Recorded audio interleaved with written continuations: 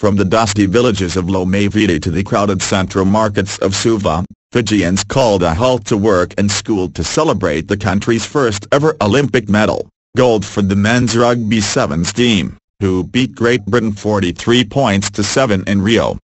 In the capital revelers danced on rooftops and wove in and out of traffic waving the pale blue Fijian flag, still bedecked with their former colonists' Union Jack.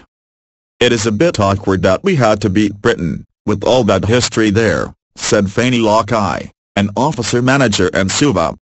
But you know everyone in Fiji is saying they're cousins with Ben, Ryan, the British coach of Fiji's Sevens squad, now. At the moment the whole country is claiming he's their relation. The win was rare good news for this impoverished South Pacific nation of 900,000, which is still recovering from the devastation of Cyclone Winston in February when 43 people died and tens of thousands were left homeless. I think the whole country has gone crazy, said Maikele Seru, deputy sports editor of the Fiji Times, speaking from his office five minutes walk from the center of town. Nobody is working, now we are just waiting for the team to come home. People are saying when the team get back the government should declare a national holiday.